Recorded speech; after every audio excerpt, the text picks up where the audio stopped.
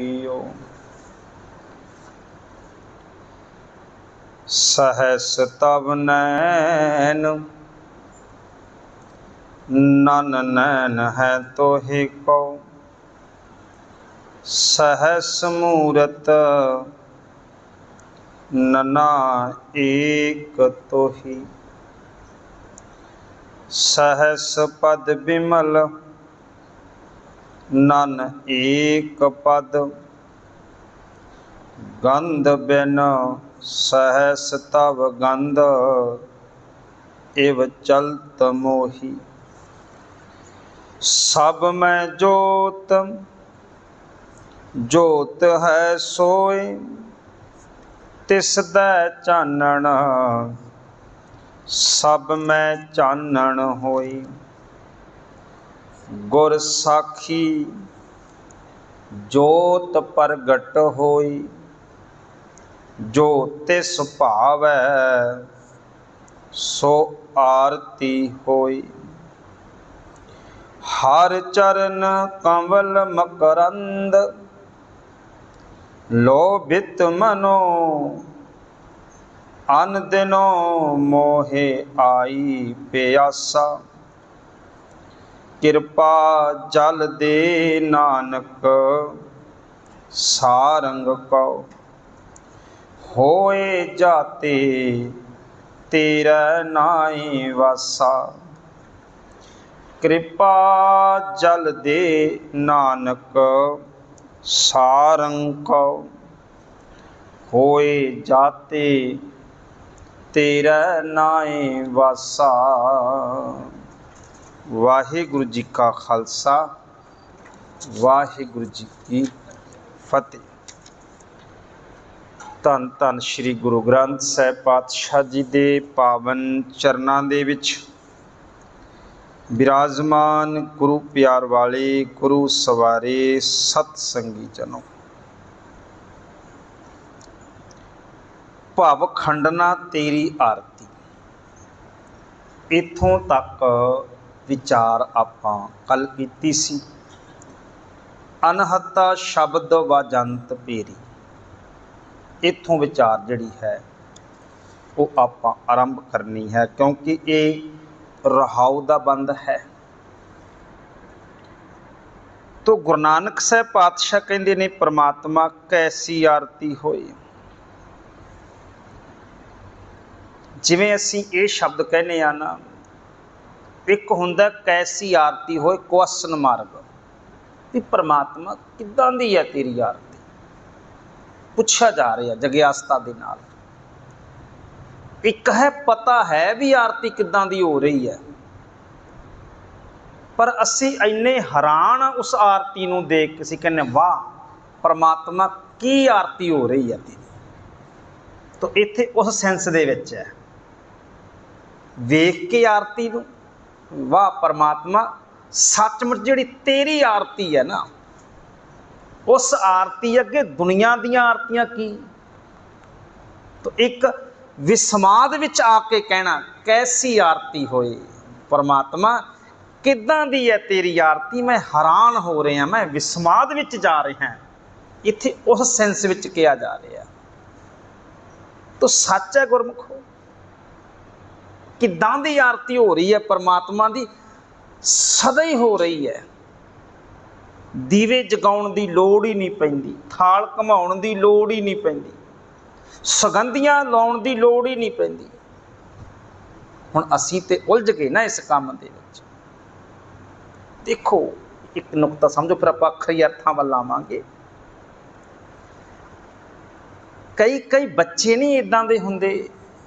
ਵੀ ਜਿੱਧਰ ਤੋਂ ਮਾਂ ਪਿਓ ਰੋਕਦਾ ਉਧਰ ਨੂੰ ਜਾਣਾ ਚਾਹੁੰਦੇ ਆ ਉਹ। ਇਦਾਂ ਦੇ ਕਈ ਬੱਚਿਆਂ ਦੀ ਆਦਤ ਹੁੰਦੀ ਵੀ ਜਿੱਧਰੋਂ ਮਾਂ ਪਿਓ ਨੇ ਰੋਕਣਾ ਨਾ, ਉਧਰ ਜਾ ਕੇ ਵੇਖਣਾ ਵੀ ਰੋਕ ਕਿਉਂ ਰਹੇ ਆ, ਵੇਖਾਂ ਤੇ ਸਹੀ ਇੱਕ ਵਾਰ।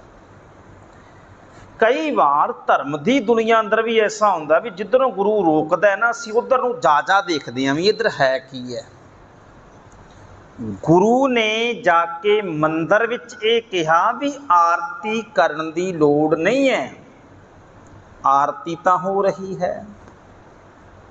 ਰੱਬ ਦੇ ਦੀਵੇ ਜਗ ਰਹੇ ਨੇ। ਰੱਬ ਦਾ ਥਾਲ ਬਣਿਆ ਹੋਇਆ ਹੈ। ਹਨਾ? ਘੁੰਮ ਰਿਹਾ ਸਾਰਾ ਸੰਸਾਰ ਹੀ ਇਹ। ਪਰ ਹੁਣ ਨਲਾਇਕ ਬੱਚਿਆਂ ਦਾ ਕੀ ਕੀਤਾ ਜਾਵੇ? ਉਹ ਕਹਿੰਦੇ, ਬਾਬਾ, ਤੂੰ ਮੰਦਰ ਵਿੱਚ ਆਰਤੀ ਰੋਕੀ, ਅਸੀਂ ਗੁਰਦੁਆਰੇ ਕਰਾਂਗੇ। ਹੈ, ਹਜੂਰ ਸਾਹਿਬ ਕੀ ਹੁੰਦਾ? ਘਮਾਉਂਦੇ ਨੇ ਕਿ ਨਹੀਂ ਥਾਲੀਆਂ? ਪਟਨਾ ਸਾਹਿਬ ਘਮਾਉਂਦੇ ਨੇ ਕਿ ਨਹੀਂ ਥਾਲੀਆਂ? ਨਾਨਕਸਰ ਵਾਲੇ ਬਾਬੇ ਘਮਾਉਂਦੇ ਨੇ ਕਿ ਨਹੀਂ ਥਾਲੀਆਂ? ਘਮਾਉਂਦੇ ਨੇ ਜੀ। ਹੁਣ ਗੁਰੂ ਨੇ ਕਿਹਾ ਸੀ, ਉਹ ਰੁਕ ਜਾਓ, ਆਰਤੀ 'ਚ ਸ਼ਾਮਲ ਹੋਵੋ। ਕਹਿੰਦੇ, ਨਹੀਂ ਜੀ, ਅਸੀਂ ਤਾਂ ਆਪਣੀ ਕਰਾਂਗੇ, ਤੁਹਾਡੇ ਤੋਂ ਵੱਖਰੀ। ਜਿਹੜੇ ਕੰਮ ਤੋਂ ਗੁਰੂ ਨੇ ਰੋਕਿਆ ਸੀ, ਉਧਰ ਨੂੰ ਉਤਰੇ। ਖੈਰ, ਤੋ ਗੁਰੂ ਨਾਨਕ ਸਾਹਿਬ ਪਾਤਸ਼ਾਹ ਕਹਿੰਦੇ, ਪ੍ਰਮਾਤਮਾ ਕੈਸੀ ਆਰਤੀ ਹੋਏ ਭਾਵ ਖੰਡਨਾ? ਭਾਵ ਖੰਡਨਾ ਦਾ ਅਰਥ ਹੈ ਭੈ ਨੂੰ ਖਤਮ ਕਰਨ ਵਾਲੇ ਭੈ ਨੂੰ ਖੰਡਨ ਵਾਲੇ ਡਰ ਨੂੰ ਖਤਮ ਕਰਨ ਵਾਲੇ ਵਾਹਿਗੁਰੂ ਪਰਮੇਸ਼ਰ ਜੀ, ਇਹ ਸੱਚਮੁੱਚ ਕੈਸੀ ਆਰਤੀ ਹੋ ਰਹੀ ਹੈ ਤੇਰੀ? ਅਨਹਤਾ ਸ਼ਬਦ ਵਾਜੰਤ ਭੇਰੀ। ਭੇਰੀ ਗੁਰਮੁਖੋ ਇੱਕ ਸਾਜ਼ ਹੁੰਦਾ ਹੈ।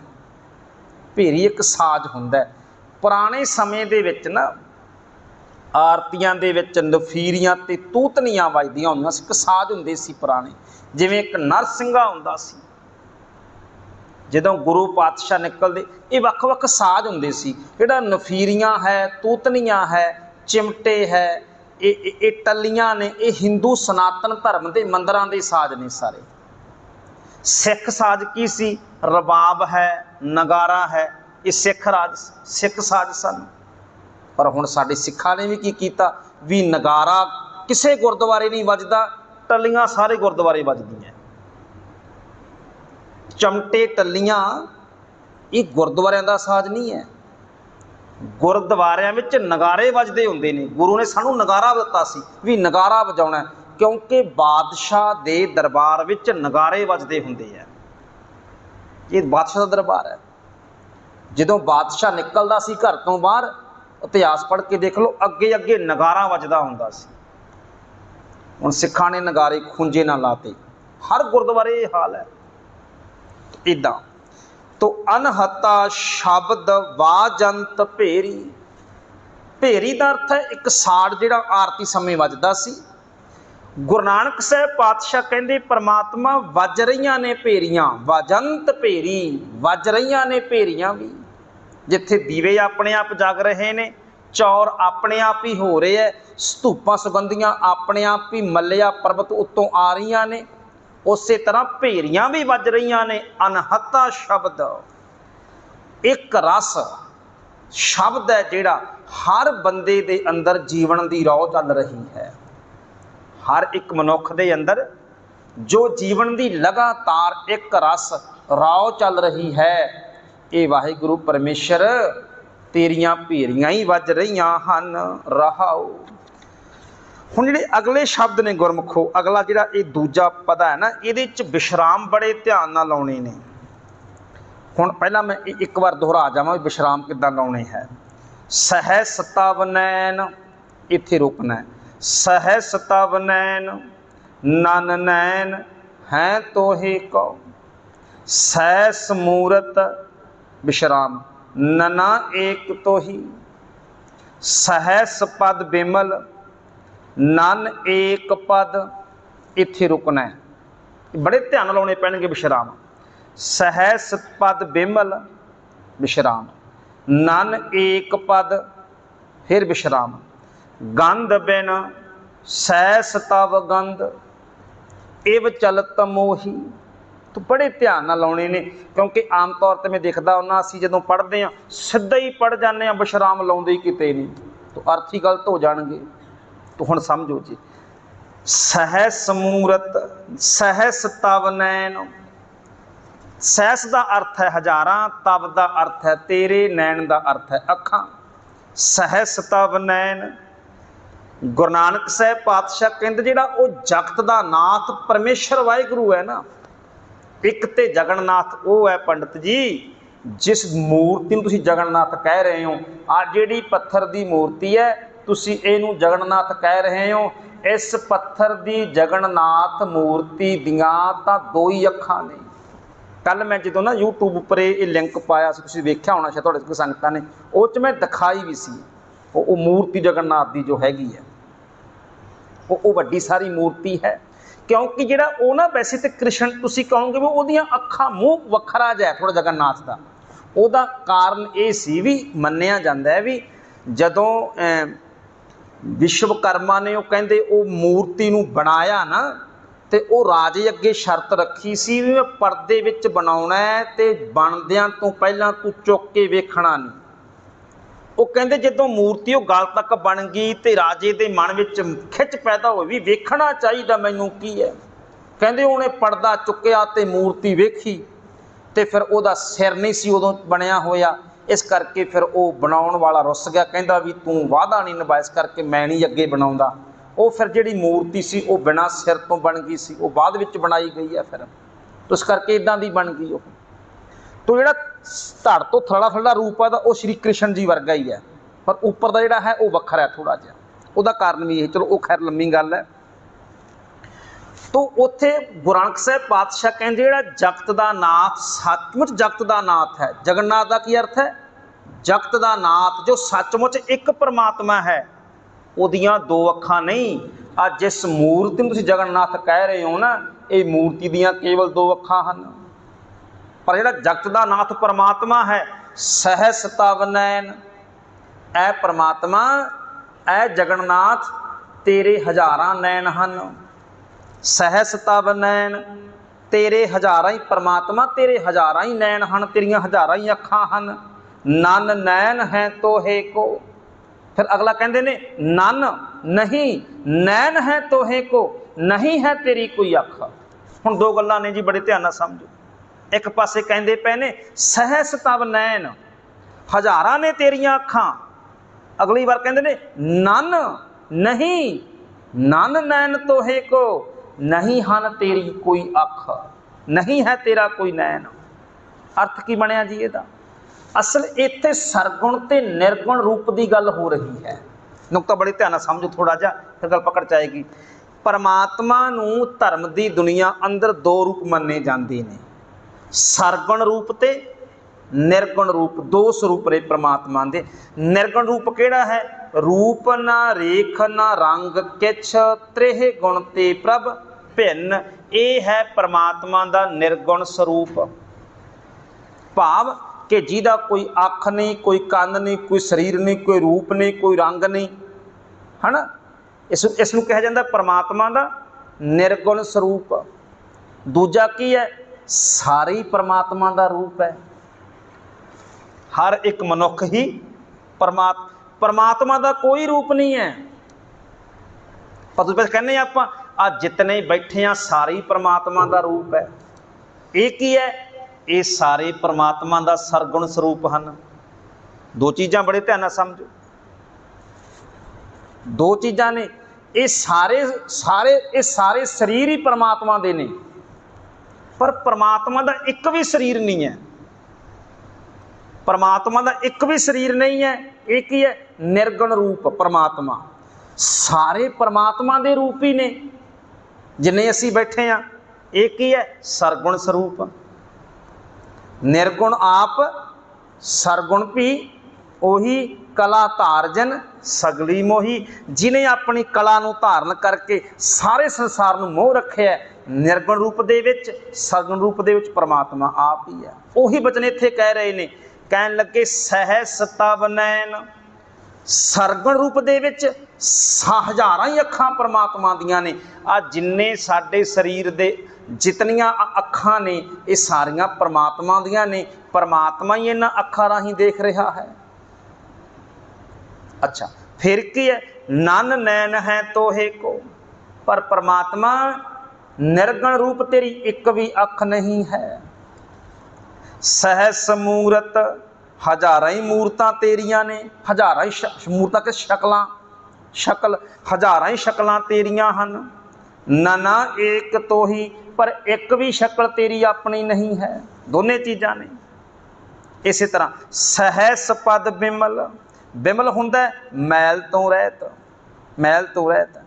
ਕਹਿਣ ਲੱਗੇ, ਸਹਿਸ ਪਦ ਪਦ ਹੁੰਦਾ ਪੈਰ, ਸਹਿਸ ਹੁੰਦਾ ਹਜ਼ਾਰਾਂ, ਸਹਿਸ ਪਦ ਬਿਮਲ, ਪਾਤਸ਼ਾਹ ਕਹਿੰਦੇ, ਨਿਰਮਲ ਹਜ਼ਾਰਾਂ ਹੀ ਤੇਰੇ ਪੈਰ, ਨਿਰਮਲ ਪੈਰ ਤੇਰੇ ਹੀ ਹਨ। ਹਜ਼ਾਰਾਂ ਹੀ ਤੇਰੇ ਨਿਰਮਲ, ਸਾਰੇ ਜਿੰਨੇ ਪੈਰ ਨੇ, ਪਰਮਾਤਮਾ ਤੇਰੇ ਹੀ ਪੈਰ ਨੇ। ਸਹਿਸ ਪਦ ਬਿਮਲ ਇਹ ਮੈਲ ਤੁਰੈਤ ਨਿਰਮਲ, ਸਾਰੇ ਤੇਰੇ ਹੀ ਪੈਰ ਹਨ। ਨਨ ਏਕ ਪਦ ਪਰ ਤੇਰਾ ਇੱਕ ਵੀ ਪੈਰ ਨਹੀਂ ਹੈ। ਅੱਛਾ, ਇੱਥੇ ਵਿਸ਼ਰਾਮ ਲਾਉਣਾ ਗੰਧ ਬਿਨ ਸਹਿਸ ਤਵ ਗੰਧ। ਗੰਧ ਹੁੰਦਾ ਨੱਕ। ਗੰਧ ਬਿਨ ਤੂੰ ਬਿਨਾ ਨੱਕ ਤੋਂ ਹੈ। ਬਿਨਾ ਗੰਧ ਤੋਂ ਹੈ। ਤੂੰ ਬਿਨਾ ਨੱਕ ਤੋਂ ਹੈ। ਪਰ ਸਹਿਸ ਤਵ ਗੰਧ ਹਜ਼ਾਰਾਂ ਹੀ ਤੇਰੇ ਨੱਕ ਹਨ। ਆ ਸੰਗਤਾਂ ਨਾ ਕਈ ਵਾਰ ਮੈਂ ਦੁਬਾਰਾ ਬੇਨਤੀ ਕਰਦਾ ਇਦਾਂ ਪੜ੍ਹਦੀਆਂ ਨੇ ਇਸ ਨੂੰ। ਕੀ ਪੜ੍ਹਦੀਆਂ ਨੇ? ਸੈਸ ਪਦ ਬਿੰਬਲ ਨਨ ਇੱਕ ਪਦ ਗੰਧ ਬਿਨ ਸੈਸਤਾ ਵਗੰਧ ਏਵ ਚਲਤ ਮੋਹੀ। ਅਸ਼ਬਸ਼ਰਾਮ ਗਲਤ ਨੇ ਸਾਰੇ। ਜਦੋਂ ਅਸੀਂ ਪੜਾਂਗੇ ਨਾ ਨਨ ਇੱਕ ਪਦ ਗੰਧ ਬਿਨ ਨਨ ਇੱਕ ਪਦ ਗੰਧ ਬਿਨ ਇਹ ਅਰਥ ਹੀ ਨਹੀਂ ਬਣਦਾ ਕੋਈ। ਕੀ ਪੜਨਾ ਸੈਸ ਪਦ ਬਿਮਲ ਹਜ਼ਾਰਾਂ ਹੀ ਤੇਰੇ ਨਿਰਮਲ ਪੈਰ ਨੇ ਨਨ ਏਕ ਪਦ। ਪਦ, ਤੇਰਾ ਇੱਕ ਵੀ ਪੈਰ ਨਹੀਂ। ਗੰਧ ਬਿਨ ਤੂੰ ਬਿਨਾ ਨੱਕ ਤੋਂ ਹੈ। ਸਹਿਸ ਤਵ ਗੰਧ, ਹਜ਼ਾਰਾਂ ਹੀ ਤੇਰੇ ਪੈ ਨੱਕ ਹਨ। ਐਮ ਚਲਤ ਮੋਹੀ, ਇਵ ਚਲਤ ਮੋਹੀ। ਪਾਤਸ਼ਾਹ ਜੀ, ਬਸ ਚਲਤ ਦਾ ਅਰਥ ਹੈ, ਤੇਰੇ ਕੌਤਕ ਦੇਖ ਕੇ ਮੈਂ ਮੋਇਆ ਗਿਆ ਹਾਂ। ਇਵ ਚਲਤ ਮੋਹੀ, ਐਸ ਨੂੰ, ਤੇਰੀ ਐਸ ਕੌਤਕ ਨੂੰ ਦੇਖ ਕੇ ਪਰਮਾਤਮਾ ਮੈਂ ਮੋਇਆ ਗਿਆ ਹਾਂ। ਸਭ ਮੈਂ ਜੋਤ ਜੋਤ ਹੈ ਸੋਏ। ਸਭ ਦੇ ਵਿੱਚ ਇਹ ਪਰਮਾਤਮਾ ਤੇਰੀ ਹੀ ਜੋਤ ਬਲ ਰਹੀ ਹੈ। ਸਮਝਾ ਰਹੇ ਨੇ ਪਾਤਸ਼ਾਹ ਪੰਡਤਾਂ ਨੂੰ ਇਹ ਪੰਡਤੋਂ, ਕਿਉਂਕਿ ਇਹ ਜਗਨਨਾਥਪੁਰੀ ਦੇ ਮੰਦਿਰ ਵਿੱਚ ਬੈਠ ਕੇ ਉਚਾਰਨ ਕੀਤਾ ਜਾ ਰਿਹਾ ਸ਼ਬਦ। ਪੰਡਤੋ, ਜਿਹੜਾ ਤੁਹਾਡਾ ਜਗਨਨਾਥ ਹੈ ਨਾ, ਇਹ ਇਹ ਕੇਵਲ ਇੱਕ ਮੰਦਿਰ ਦੇ ਵਿੱਚ ਹੈ। ਪਰ ਜਿਹੜਾ ਉਹ ਪਰਮਾਤਮਾ ਜਗਨਨਾਥ ਹੈ, ਸਭ ਮੈਂ ਜੋਤ ਸਭ ਦੇ ਵਿੱਚ ਉਸ ਦੀ ਜੋਤ ਹੈ। ਹਰ ਇੱਕ ਮਨੁੱਖ ਅੰਦਰ ਉਸੇ ਦੀ ਹੀ ਜੋਤ, ਉਸੇ ਦਾ ਹੀ ਪ੍ਰਕਾਸ਼ ਹੈ। ਸਭ ਮੈਂ ਜੋਤ ਜੋਤ ਹੈ ਸੋਏ। ਤਿਸ ਦਾ ਚਾਨਣ, ਸਭ ਮੈਂ ਚਾਨਣ ਹੋਏ। ਆ ਆ ਨੁਕਤਾ ਬੜੇ ਧਿਆਨ ਨਾਲ ਸਮਝ। ਹੁਣ ਚਾਨਣ ਸ਼ਬਦ ਦੋ ਵਾਰੀ ਆ ਰਿਹਾ ਇੱਕ ਵਾਰੀ ਨਾਣੇ ਨੂੰ ਸਿਹਾਰੀ ਹੈ, ਇੱਕ ਵਾਰੀ ਨਾਣੇ ਨੂੰ ਔਂਕੜ ਲੱਗਿਆ ਹੋਇਆ। ਕਈ- ਕਈ ਕਈ ਸੱਜਣ ਕਹਿ ਦਿੰਦੇ ਨੇ, ਦੇਖੋ ਜੀ ਗ੍ਰਾਮਰ ਤਾਂ ਇਦਾਂ ਹੀ ਹੁੰਦੀ ਹੈ। ਵਿਆਕਰਨ ਤੇ, ਗੁਰਬਾਣੀ ਵਿਆਕਰਨ ਤੇ ਇਦਾਂ ਹੀ ਬਣਾ ਰੱਖੀ ਹੈ। ਨਹੀਂ ਨਹੀਂ ਨਹੀਂ, ਇਹ ਇਦਾਂ ਨਹੀਂ ਹੁੰਦੀ। ਕਿੰਨੇ ਪ੍ਰੋਫੈਸਰ ਸਾਹਿਬ ਸਿੰਘ ਹੋਰਾਂ ਨੇ, ਗਿਆਨੀ ਜੋਤ ਸਿੰਘ ਹੋਰਾਂ ਨੇ, ਕਿੰਨੇ ਵੱਡੇ ਵੱਡੇ ਵਿਦਵਾਨਾਂ ਨੇ ਮਿਹਨਤਾਂ ਕੀਤੀਆਂ, ਕਈ ਕਈ ਸਾਲ ਮੁਸ਼ਕਲਾਂ ਕੀਤੀਆਂ, ਫਿਰ ਪਤਾ ਕੀਤਾ ਸਿਹਾਰੀ ਕਿਉਂ ਆ ਰਹੀ ਹੈ? ਔਂਕੜ ਕਿਉਂ ਆਉਂਦਾ ਹੈ? ਮੁਕਤਾ ਕਿਉਂ ਹੁੰਦਾ ਹੈ? ਮਿਹਨਤ ਕੀਤੀ ਨਾ ਉਹਨਾਂ ਨੇ, ਸਾਨੂੰ ਇੰਜ ਲੱਗਦਾ ਬੈਠਿਆਂ ਬੈਠਿਆਂ ਨੂੰ ਵੀ ਐਵੇਂ ਲਾਤਾ ਜੀ। ਆ ਤੁਸੀਂ ਦੇਖੋ, ਇੱਕੋ ਹੀ ਸ਼ਬਦ ਹੈ ਚਾਨਣ, ਸਿਹਾਰੀ ਨਾਲ ਵੀ ਆ ਰਿਹਾ ਹੈ, ਔਂਕੜ ਨਾਲ ਵੀ ਆ ਰਿਹਾ ਹੈ। ਇਹਦਾ ਅਰਥ ਤੇ ਕੁਝ ਬਣੇਗਾ ਨਾ ਵੀ ਵੱਖ ਹੈ, ਸਿਹਾਰੀ ਕਿਉਂ ਆਈ, ਔਂਕੜ ਕਿਉਂ ਆਇਆ, ਇਹਦਾ ਕਾਰਨ ਤੇ ਕੋਈ ਹੋਵੇਗਾ ਨਾ। ਤਾਂ ਇਹ ਅਰਥ ਹੈ, ਤਿਸ ਦਾ ਚਾਨਣ ਚਾਨਣ ਵਿੱਚ ਉਸ ਦੇ ਚਾਨਣ ਨਾਲ ਹੀ, ਤਿਸ ਦੇ ਚਾਨਣ ਨਾਲ, ਚਾਨਣ ਜੋ ਲੱਗੇ ਨਾ ਸਿਹਾਰੀ ਲੱਗੀ ਹੈ, ਉਹਦਾ ਅਰਥ ਹੈ ਤਿਸ ਦੇ ਚਾਨਣ ਰਾਹੀਂ, ਤਿਸ ਦੇ ਚਾਨਣ ਨਾਲ ਸਭ ਮੈਂ ਚਾਨਣ ਹੋਏ, ਸਾਰਿਆਂ ਚਾਨਣ ਹੋ ਰਿਹਾ ਹੈ। ਚਾਨਣ ਰਾਹੀਂ ਚਾਨਣ ਹੋ ਰਿਹਾ ਹੈ। ਤੋ ਜਿੱਥੇ ਚਾਨਣ ਨੂੰ ਲੱਗੀ ਹੈ ਸਿਆਰੀ ਉਹਦਾ ਅਰਥ ਹੈ ਉਸ ਦੇ ਚਾਨਣ ਦੇ ਰਾਹੀਂ ਹੀ ਉਸ ਦੇ ਚਾਨਣ ਦੇ ਨਾਲ ਹੀ ਸਭ ਮੈਂ ਚਾਨਣ ਹੋਏ, ਸਾਰਿਆਂ ਵਿੱਚ ਚਾਨਣ ਹੋ ਰਿਹਾ ਹੈ। ਗੁਰ ਸਾਖੀ ਜੋਤ ਪ੍ਰਗਟ ਹੋਏ, ਉਹਦੀ ਜੋਤ ਸਾਰਿਆਂ ਦੇ ਵਿੱਚ ਬਲ ਰਹੀ ਹੈ। ਸਭ ਮੈਂ ਜੋਤ, ਉਹਦੀ ਜੋਤ ਸਾਰਿਆਂ ਦੇ ਵਿੱਚ ਹੈ। ਪਰ ਦਿਖਦੀ ਕਿਉਂ ਨਹੀਂ ਪਈ?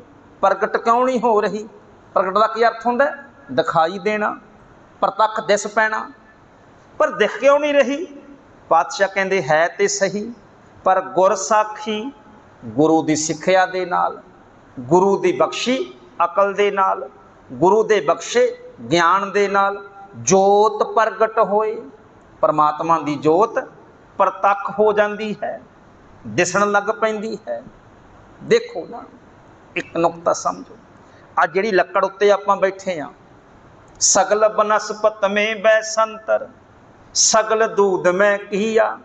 ਸਭ ਲੱਕੜ ਵਿੱਚ ਅੱਗ ਹੈ, ਸਗਲ ਬਨਸਪਤ, ਹਰ ਇੱਕ ਬਨਸਪਤੀ ਵਿੱਚ ਬੈਸੰਤਰ, ਲੱਕੜ ਅੱਗ ਹੈ। ਸਗਲ ਦੂਧ ਮੈਂ ਕੀਆ, ਹਰ ਇੱਕ ਦੁੱਧ ਅੰਦਰ ਹੀ ਘਿਓ ਹੈ। ਪਰ ਪਾਤਸ਼ਾਹ ਕਹਿੰਦੇ ਦਿਖਦਾ ਹੈ। ਦੁੱਧ ਵਿੱਚ ਕਹੀਏ ਘਿਓ ਹੈ, ਉਹਨੇ ਕਹਿਣਾ ਹੈ ਦਿਖਾਈ ਕੌਣ ਦਿੰਦਾ? ਨਹੀਂ, ਮਿਹਨਤ ਕਰਨੀ ਪਏਗੀ। ਦਿਖੇਗਾ ਤਾਂ। ਦਿਖਣਾ ਨਹੀਂ ਐਵੇਂ। ਦਿਖਣਾ ਕੀ ਹੈ? ਦੁੱਧ ਨੂੰ ਜਾਗ ਲਾਉਣੀ ਪਏਗੀ, ਦਹੀਂ ਜਮਾਉਣੀ ਪਏਗੀ, ਰਿੜਕਣਾ ਪਏਗਾ, ਠੰਡਾ ਪਾਣੀ ਪਾਉਣਾ ਪਏਗਾ, ਫਿਰ ਮੱਖਣ ਦਿਖਾਈ ਦੇਣ ਲੱਗ ਪਏਗਾ। ਦਿਖਾਈ ਤਾਂ ਫਿਰ ਹੀ ਦੇਵੇਗਾ ਨਾ। ਪਾਤਸ਼ਾਹ ਕਹਿੰਦੇ ਇਦਾਂ ਹੀ ਹੈ ਭਾਈ ਜੇ ਦੁੱਧ ਵਿੱਚੋਂ ਮੱਖਣ ਨਹੀਂ ਬਿਨਾ ਮਿਹਨਤ ਤੋਂ ਨਿਕਲਦਾ, ਦਿਖਾਈ ਦਿੰਦਾ, ਤੇ ਰੱਬ ਤੇਰੇ ਅੰਦਰੋਂ ਬਿਨਾ ਕਰਮ ਕੀਤਿਆਂ ਕਿਵੇਂ ਦਿਖਾਈ ਦੇਵੇਗਾ? ਨਹੀਂ ਦਿਖਾਈ ਦਿੰਦਾ ਨਾ। ਤਾਂ ਹੀ ਪਾਤਸ਼ਾਹ ਨੇ ਕਿਹਾ ਨਾ, ਸਭ ਪਾਤਸ਼ਾਹ ਕਹਿੰਦੇ ਅੰਮ੍ਰਿਤ ਸਾਰਿਆਂ ਦੇ ਵਿੱਚ ਹੀ ਹੈ। ਸਭ ਮੈਂ ਅੰਮ੍ਰਿਤ ਭਰਪੂਰ ਹੈ, ਮਨਮੁਖਾਂ ਸਾਧ ਨਾ ਪਾਇਆ। ਮਨਮੁਖਾਂ ਨੇ ਸਵਾਦ ਹੀ ਨਹੀਂ ਮਾਣਿਆ। ਕਿਉਂ ਨਹੀਂ ਮਾਣਿਆ? ਕਿਉਂਕਿ ਇਹ ਜਿਹੜਾ ਅੰਮ੍ਰਿਤ ਰਸ ਹੈ ਇਹ ਗੁਰੂ ਦੇ ਸ਼ਬਦ ਰਾਹੀਂ ਪ੍ਰਗਟ ਹੁੰਦਾ ਪਤਾ ਲੱਗਦਾ ਗੁਰਮੁਖ ਜਿਵੇਂ ਮੈਂ ਕਈ ਵਾਰ ਬੇਨਤੀ ਕਰਦਾ ਹੁੰਦਾ ਕਦੇ ਭੱਟ ਸਾਹਿਬਾਨਾਂ ਦੇ ਸਵਈਏ ਪੜੋ ਭੱਟ ਸਾਹਿਬਾਨ ਜਦੋਂ ਗੁਰੂ ਅਮਰਦਾਸ ਸਾਹਿਬ ਪਾਤਸ਼ਾਹ ਦੀ ਗੱਲ ਕਰਦੇ ਨੇ, ਗੁਰੂ ਅਮਰਦਾਸ ਸਾਹਿਬ ਪਾਤਸ਼ਾਹ ਗੁਰੂ ਅੰਗਦ ਸਾਹਿਬ ਦੇ ਚਰਨਾਂ ਵਿੱਚ ਆਏ, ਸੇਵਾ ਕੀਤੀ ਤੇ ਭੱਟ ਸਾਹਿਬਾਨ ਕੀ ਕਹਿੰਦੇ, ਤੈਂ ਪੜਿਓ ਇੱਕ, ਮਨ ਭਰਿਓ ਇੱਕ ਕਰ ਇੱਕ ਪਛਾਣਿਓ ਨੈਣ ਬੈਣ ਮੋਹਿ ਇੱਕ ਇੱਕ, ਦੋਏ ਠਾਏ ਨਾ ਜਾਣਿਓ, ਸੁਪਨ ਇੱਕ, ਪ੍ਰਤੱਖ ਇੱਕ ਇੱਕ ਸਮੈ ਲੀਨੋ, ਤੀਸ ਇੱਕ, ਅਰ ਪੰਜ ਸਿੱਧ ਪੈਤੀ ਸਨਾਖੀਨੋ ਕਹਿੰਦੀ, ਬਾਬਾ ਅਮਰਦਾਸ, ਤੈਨੂੰ ਸਾਰੀਆਂ ਥਾਵਾਂ ਤੇ ਇੱਕ ਹੀ ਦਿਖਦਾ ਹੈ? ਗਾਉਂਦਿਆਂ, ਬਹਿੰਦਿਆਂ, ਉੱਠਦਿਆਂ, ਖਾਂਦਿਆਂ, ਪੀਂਦਿਆਂ, ਸੁਪਨ ਇੱਕ, ਸੌਂਦਿਆਂ ਵੀ ਤੈਨੂੰ ਇੱਕ ਸੁਪਨੇ ਵਿੱਚ ਵੀ ਇੱਕ ਹੀ ਦਿਖਾਈ ਦਿੰਦਾ ਹੁਣ ਸਭ ਥਾਵਾਂ ਤੇ ਇੱਕ ਹੀ ਦਿਖਾਈ ਦਿੰਦਾ ਜਦੋਂ ਗੁਰੂ ਚਰਨਾਂ ਵਿੱਚ ਨਹੀਂ ਸੀ ਪਹੁੰਚੇ, ਕੱਲੀ ਮੂਰਤੀ ਵਿੱਚ ਰੱਬ ਦਿਖਦਾ ਸੀ। ਹੁਣ ਸਭ ਥਾਵਾਂ ਤੇ ਕਿਉਂ ਦਿਖਦਾ? ਰੱਬ ਤੇ ਪਹਿਲਾਂ ਵੀ ਸੀ। ਜਦੋਂ ਬਾਬਾ ਅਮਰਦਾਸ ਗੰਗਾ ਚ ਨਹਾਉਂਦੇ ਨੇ, ਰੱਬ ਤੇ ਉਦੋਂ ਵੀ ਇੱਕ ਸੀ। ਮੂਰਤੀ ਦੀ ਪੂਜਾ ਕਰਦੇ ਨੇ, ਰੱਬ ਤੇ ਉਦੋਂ ਵੀ ਸੀ। ਪਰ ਦਿਖਦਾ ਕਿਉਂ ਨਹੀਂ ਸੀ? ਕਿਉਂਕਿ ਗੁਰੂ ਦੀ ਕਿਰਪਾ ਨਹੀਂ ਸੀ ਹੋਈ। ਗੁਰੂ ਦਾ ਗਿਆਨ ਨਹੀਂ ਸੀ ਕੋਲ। ਬਸ ਇੰਨੀ ਗੱਲ ਹੈ। ਜਦੋਂ ਗੁਰੂ ਦੀ ਸਿੱਖਿਆ ਹੁੰਦੀ ਹੈ ਫਿਰ ਗੁਰਮਖੋ ਜੋ ਦਿਸੈ ਸੋ ਤੇਰਾ ਰੂਪ। ਫਿਰ ਦੇਖਣ ਲੱਗ ਪੈਂਦਾ ਰੂਪ ਉਹਦਾ, ਪ੍ਰਗਟ ਹੋ ਜਾਂਦਾ ਇਸੇ ਤਰ੍ਹਾਂ ਗੁਰ ਸਾਖੀ ਗੁਰੂ ਦੀ ਸਿੱਖਿਆ ਦੇ ਰਾਹੀਂ ਜੋਤ ਪ੍ਰਗਟ ਹੋਏ, ਜੋਤ ਤਿਸ ਭਾਵੈ ਸੋ ਆਰਤੀ ਹੋਏ। हे ਪ੍ਰਮਾਤਮਾ, ਜੇ ਜਿਵੇਂ ਉਸ ਪ੍ਰਭੂ ਨੂੰ ਭਾਉਂਦਾ ਹੈ, ਜਿਵੇਂ ਉਸ ਪ੍ਰਭੂ ਨੂੰ ਚੰਗਾ ਲੱਗਦਾ ਹੈ, ਅਸਲ ਵਿੱਚ ਉਹੀ ਆਰਤੀ ਹੁੰਦੀ ਹੈ। ਆ ਆ ਅਸਲ ਵਿੱਚ ਆਰਤੀ। ਆਰਤੀ ਕੀ ਹੈ? ਜੋ ਤਿਸ ਭਾਵ ਹੈ, ਜੋ ਪ੍ਰਭੂ ਨੂੰ ਚੰਗਾ ਲੱਗਦਾ ਹੈ, ਜੈਸੀ ਪ੍ਰਭੂ ਨੂੰ ਭਾਉਂਦੀ ਹੈ, ਉਹੀ ਆਰਤੀ ਚੰਗੀ ਹੈ, ਉਹੀ ਆਰਤੀ ਹੈ। ਹਰ ਚਰਨ ਕਮਲ ਮਕਰੰਦ, ਲੋਭਿਤ ਮਨੋ, ਇਹਦੇ ਵੀ ਫਿਰ ਵਿਸ਼ਰਾਮ ਬੜੇ ਧਿਆਨ ਨਾਲ ਲਾਉਣੇ ਨੇ। ਹਰ ਚਰਨ ਕਮਲ ਮਕਰੰਦ ਮਕਰੰਦ ਹੁੰਦਾ ਹੈ ਗੁਰਮਖੋ, ਰਸ ਹੁੰਦਾ ਜਿਹੜਾ ਜਿਹੜਾ ਕਮਲ ਦਾ ਫੁੱਲ ਹੁੰਦਾ ਨਾ। ਜਿਹੜਾ ਉਹਦੇ ਵਿੱਚ ਰਸ ਹੁੰਦਾ ਉਸ ਰਸ ਨੂੰ ਮਕਰੰਦ ਕਿਹਾ ਜਾਂਦਾ ਹੈ। ਹਰ ਚਰਨ ਕਮਲ ਮਕਰੰਦ, ਜਿਵੇਂ ਪਾਤਸ਼ਾਹ ਭੌਰੇ ਦੇ ਲਈ ਮਕਰੰਦ ਰਸ ਆਨੰਦ ਦਿੰਦਾ ਹੈ। ਉਸੇ ਤਰ੍ਹਾਂ ਹਰ ਚਰਨ ਕਮਲ, ਹੇ ਹਰੀ, ਮੈਨੂੰ ਤੇਰੇ ਚਰਨ ਕਮਲ ਰਸ ਦਿੰਦੇ ਹਨ। ਲੋਭਿਤ ਮਨੋ, ਮੇਰਾ ਮਨ ਮੋਹਿਤ ਹੋ ਗਿਆ ਹੈ ਤੇਰੇ ਚਰਨਾਂ ਦੇ ਉੱਪਰ। ਜਿਵੇਂ ਭੌਰੇ ਦਾ ਮਨ ਕਮਲ ਦੇ ਫੁੱਲ ਉੱਪਰ ਲੋਭਿਤ ਹੋ ਜਾਂਦਾ ਇਸੇ ਤਰ੍ਹਾਂ ਹੀ ਮੇਰਾ ਮਨ ਤੇਰੇ ਚਰਨਾਂ ਦੇ ਵਿੱਚ ਲੁਭਤ ਹੋ ਗਿਆ ਹੈ। ਅਨ ਦਿਨੋ ਮੋਹੇ ਆਈ ਪਿਆਸਾ। ਕਿਉਂਕਿ ਵੈਸੇ ਇਹ ਸ਼ਬਦ ਅਣਦਨ ਹੈ ਗੁਰਮੁਖੋ। ਪਰ ਇੱਥੇ ਜਿਹੜਾ ਹੈ ਉਹ ਕਵਿਤਾ ਦਾ ਜੋ ਇਹ ਕਹਿ ਲੋ ਵੀ ਬੰਤਰ ਦਾ ਮਾਪ ਤੋਲ ਪੂਰਾ ਕਰਨ ਦੇ ਲਈ। ਫਿਰ ਇਸ ਨੂੰ ਇੱਕ ਕਈ ਕਈ ਥਾਵਾਂ ਉੱਤੇ ਮਾਪ ਤੋਲ ਜਿਹੜਾ ਹੁੰਦਾ ਉਸ ਨੂੰ ਪੂਰਾ ਕਰਨ ਦੇ ਲਈ ਦੋ ਮਾਤਰਾ ਲਾਈਆਂ ਜਾਂਦੀਆਂ ਨੇ। ਤਾਂ ਇੱਥੇ ਫਿਰ ਜਦੋਂ ਦੋ ਮਾਤਰਾ ਹੋਣ, ਜੋ ਅਸੀਂ ਹਰ ਵਕਤ ਬੋਲਦੇ ਆ ਉਸ ਤੋਂ ਜਿਹੜਾ ਉਲਟਾ ਹੁੰਦਾ ਉਸ ਨੂੰ ਬੋਲਣਾ ਹੁੰਦਾ ਹੈ। ਤਾਂ ਆਮ ਆਪਾਂ ਅਣਦਿਨ ਬੋਲਦੇ ਹਾਂ। ਇਸ ਕਰਕੇ ਇੱਥੇ ਅਣਦਿਨੋਂ ਬੋਲਣਾ ਹੈ। ਹਰ ਚਰਨ ਕਮਲ ਮਕਰੰਦ ਲੋਭਿਤ ਮਨੋ ਅਨਦਿਨੋ ਮੋਹੇ ਆਈ ਪਿਆਸਾ। ਦਿਨ ਰਾਤ ਮੈਨੂੰ ਤੇਰੇ ਦਰਸ਼ਨਾਂ ਦੀ ਪਿਆਸ ਲੱਗੀ ਰਹਿੰਦੀ ਹੈ। ਜਿਵੇਂ ਭੌਰੇ ਨੂੰ 24 ਘੰਟੇ ਮਕਰੰਦ ਦੀ ਪਿਆਸ ਲੱਗੀ ਰਹਿੰਦੀ ਹੈ, ਕਿਉਂਕਿ ਉਹਦਾ ਮਨ ਮਕਰੰਦ ਦੇ ਵਿੱਚ ਲੋਭਤ ਹੋ ਗਿਆ ਹੈ। ਮੇਰਾ ਮਨ ਤੇਰੇ ਚਰਨ ਕਮਲਾਂ ਨਾਲ ਬੰਨਿਆ ਗਿਆ ਹੈ। ਇਸ ਕਰਕੇ हे ਵਾਹਿਗੁਰੂ ਪਰਮੇਸ਼ਰ, ਦਿਨ ਰਾਤ ਮੈਨੂੰ ਤੇਰੇ ਚਰਨਾਂ ਦੀ ਪਿਆਸ ਰਹਿੰਦੀ ਹੈ, ਤੇਰੇ ਦਰਸ਼ਨਾਂ ਦੀ ਪਿਆਸ ਰਹਿੰਦੀ ਹੈ। ਕਿਰਪਾ ਜਲ ਦੇ ਨਾਨਕ हे ਨਾਨਕ ਕਿਰਪਾ ਕਰਕੇ ਮੈਨੂੰ ਨਾਮ ਦਾ ਜਲ ਦੇ। ਸਾਰੰਗ ਕੋ ਸਾਰਗ ਹੁੰਦਾ ਪਪੀਹਾ। ਸਾਰੰਗ ਦਾ ਕੀ ਅਰਥ ਹੈ ਗੁਰਮੁਖੋ? ਸਾਰੰਗ ਇੱਕ ਪੰਛੀ ਹੈ, ਪਪੀਹਾ। ਕਹਿਣ ਲੱਗੇ हे ਪ੍ਰਮਾਤਮਾ, ਮੈਨੂੰ ਵੀ ਤੂੰ, ਕਿਉਂ ਕਿਹੜਾ ਪਪੀਹਾ ਹੈ ਨਾ? ਕਹਿੰਦੇ, ਪਪੀਹੇ ਦੀ ਜਿਹੜੀ ਪਿਆਸ ਹੈ ਨਾ, ਉਹ ਸਵਾਤੀ ਬੂੰਦ ਨਾਲ ਬੁਝਦੀ ਹੈ, ਜਿੰਨਾ ਮਰਜ਼ੀ ਮੀਂਹ ਪਵੇ। ਪਾਤਸ਼ਾਹ ਕਹਿੰਦੇ ਨੇ, ਮੇਰਾ ਮਨ ਲੋਚੈ ਗੁਰ ਦਰਸ਼ਨ ਤਾਈ ਬਿਲਪ ਕਰੇ ਚਾਤਰਕ ਕੀ ਨਿਆਈ? ਚਾਤਰਕ ਦੀ ਤਰ੍ਹਾਂ ਮੇਰਾ ਮਨ ਜਿਹੜਾ ਹੈ, ਤੇਰੇ ਨਾਮ ਨੂੰ ਤਰਸਦਾ ਹੈ ਪਰਮਾਤਮਾ। ਜਿਵੇਂ ਕਹਿੰਦੇ ਨੇ, ਇਹ ਦੱਸਦੇ ਨੇ ਵਿਦਵਾਨ ਪੁਰਸ਼, ਕਹਿੰਦੇ ਜਿਹੜਾ ਪਪੀਹਾ ਹੁੰਦਾ ਨਾ, ਸਾਰੰਗ, ਉਹਦੀ ਜਿਹੜੀ ਪਿਆਸ ਹੈ ਨਾ, ਉਹ ਗੁਰਮਖੋ ਬਾਰਿਸ਼ ਦੀਆਂ ਬੂੰਦਾਂ ਦੇ ਨਾਲ ਨਹੀਂ ਬੁਝਦੀ। ਜਿਤਨਾ ਮਰਜ਼ੀ ਬੂੰਦਾਂ ਪੈ ਰਹੀਆਂ ਨੇ, ਨਹੀਂ ਬੁਝਦੀ। ਕਦੇ ਕਦੇ ਆਕਾਸ਼ ਵਿੱਚੋਂ ਸਵਾਤੀ ਬੂੰਦ ਡਿੱਗਦੀ ਹੈ। ਉਹਦੇ ਮੂੰਹ ਵਿੱਚ ਪੈਂਦੀ ਹੈ ਤੇ ਪਪੀਹੇ ਦੀ ਪਿਆਸ ਮੁੱਕ ਜਾਂਦੀ ਹੈ। ਪਾਤਸ਼ਾਹ ਕਹਿੰਦੇ, ਪਰਮਾਤਮਾ ਦਾ ਭਗਤ ਵਾਹਿਗੁਰੂ ਦੀ ਬੰਦਗੀ ਕਰਨ ਵਾਲਾ ਜਿਹੜਾ ਹੁੰਦਾ ਹੈ ਨਾ, ਉਹਦਾ ਮਨ ਵੀ ਪਪੀਹੇ ਵਰਗਾ ਹੀ ਹੁੰਦਾ ਹੈ। ਆਮ ਦੁਨਿਆਵੀ ਰਸਾਂ ਦੀਆਂ ਬੂੰਦਾਂ ਨਾਲ ਉਹਦੀ ਪਿਆਸ ਨਹੀਂ ਬੁਝਦੀ। ਉਹਦੀ ਪਿਆਸ ਗੁਰੂ ਦੇ ਬਖਸ਼ੇ ਨਾਮ ਰਸ ਨਾਲ ਬੁਝਦੀ ਹੈ। ਜਿਵੇਂ ਪਪੀਹੇ ਦੀ ਪਿਆਸ ਕੇਵਲ ਸਵਾਤੀ ਬੂੰਦ ਨਾ ਬੁਝੇਗੀ, ਪਰਮਾਤਮਾ ਦੇ ਭਗਤ ਦੀ ਆਤਮਿਕ ਜਿਹੜੀ ਪਿਆਸ ਹੈ, ਉਹ ਕੇਵਲ ਤੇ ਕੇਵਲ ਪਰਮਾਤਮਾ ਦੇ ਨਾਮ ਦੇ ਨਾਲ ਹੀ ਬੁਝਦੀ ਹੈ। ਤੋ ਕਿਰਪਾ ਜਲ ਦੇ, ਨਾਨਕ ਸਾਰੰਗ ਕੋ हे ਨਾਨਕ, ਪਪੀਹੇ ਨੂੰ ਕਿਰਪਾ ਕਰਕੇ ਆਪਣਾ ਨਾਮ ਰੂਪੀ, ਕਿਰਪਾ ਰੂਪੀ ਜਲ ਦੇ ਦਿਓ। ਹੋਏ ਜਾਤੇ, ਤੇਰੇ ਨਾਏ ਵਾਸਾ ਜਿਸ ਕਰਕੇ ਸਦੀਵ ਕਾਲ ਦੀ ਤੇਰੇ ਨਾਮ ਵਿੱਚ ਮੇਰਾ ਵਾਸਾ ਹੋ ਜਾਏ। ਹੋਏ ਜਾਤੇ, ਹੋ ਜਾਵੇ, ਤੇਰੇ ਨਾਮ ਦੇ ਤੇਰੇ ਨਾਏ ਵਾਸਾ, ਤੇਰੇ ਨਾਮ ਦੇ ਵਿੱਚ ਮੇਰਾ ਵਾਸਾ ਹੋ ਜਾਵੇ। ਤੇਰੇ ਨਾਮ ਦੇ ਵਿੱਚ ਮੇਰਾ ਮਨ ਲੱਗ ਜਾਵੇ। ਕਿਰਪਾ ਕਰਕੇ ਮੈਨੂੰ ਉਹ ਨਾਮ ਦੇ ਜਲ ਦੀ ਬੂੰਦ ਦੇ ਦੇਵੋ। ਤੋ ਇਹ ਗੁਰੂ ਨਾਨਕ ਸਾਹਿਬ ਪਾਤਸ਼ਾਹ ਗੁਰਮੁਖੋ ਬਚਨ ਕਰਦੇ ਪਏ ਨੇ। ਜਗਨਨਾਥਪੁਰੀ ਦੇ ਮੰਦਰ ਵਿੱਚ, ਹੇ ਭਾਈ, ਆਰਤੀਆਂ ਕਰਨ ਦੀ ਲੋੜ ਨਹੀਂ ਹੈ। ਜੇ ਮੰਗਣਾ ਹੈ, ਤਾਂ ਪ੍ਰਮਾਤਮਾ ਦੇ ਕੋਲੋਂ ਨਾਮ ਜਲ ਦੀ ਦਾਤ ਮੰਗੋ, ਨਾਮ ਦੇ ਰਸ ਦੀ ਦਾਤ ਮੰਗੋ, ਉਸ ਪ੍ਰਮਾਤਮਾ ਦਾ ਸਿਮਰਨ ਕਰੋ ਤੇ ਉਹਦੀ ਹੋ ਰਹੀ ਆਰਤੀ ਵਿੱਚ ਸ਼ਾਮਲ ਹੋ ਜਾਵੋ। ਨਵੀਆਂ ਆਰਤੀਆਂ ਕਰਨ ਦੀ ਕੋਈ ਲੋੜ ਨਹੀਂ ਹੈ। ਸਤਿਗੁਰੂ ਪਾਤਸ਼ਾਹ ਕਿਰਪਾ ਕਰਨ। ਭੁੱਲਾਂ ਚੁੱਕਾਂ ਦੀ ਖਿਮਾ, ਫਤਿਹ ਬਲਾਓ ਆਖੋ ਜੀ। ਵਾਹਿਗੁਰੂ ਜੀ ਕਾ ਖਾਲਸਾ ਵਾਹਿਗੁਰੂ ਜੀ ਕੀ ਫਤਿਹ। ਸਰਵਗੁਰੂ ਸਾਹਿਬ ਅਨੰਦ ਸਾਹਿਬ ਰੋਕਲੇ ਮਹਲਾ।